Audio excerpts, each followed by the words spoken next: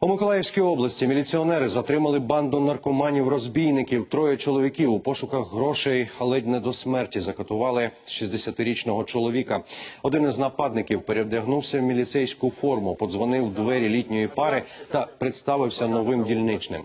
Подружжя впустило злочинця. За ним увірвалися ще двоє розбійників. Літніх людей зв'язали та мучили, доки ті не сказали, де тримають заощадження. Здобиччю злочинців стали дві тисячі гривень. Усім трьом нападникам тепер загрожує до 15 років ув'язнення. Руки зв'язали, ноги зв'язали, не давали не балакати, нічого.